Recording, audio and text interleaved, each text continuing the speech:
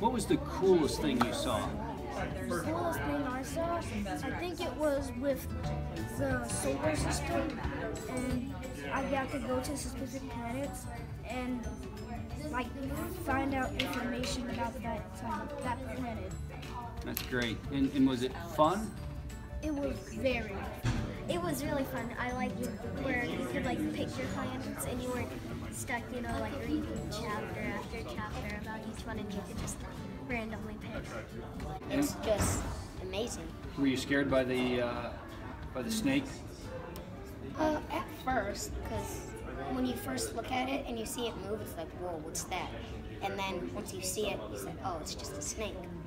And you realize that you're not really there, but you're there, but you're not there.